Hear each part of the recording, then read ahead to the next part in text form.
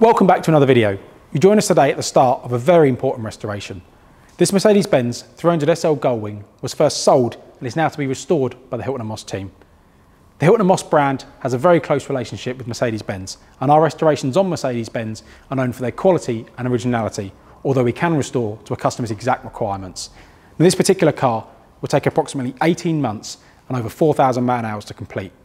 The first stage of this restoration is a full analysis of what's working and what's not, and then a full body strip down so we can analyse the parts, log them, store them and photograph them.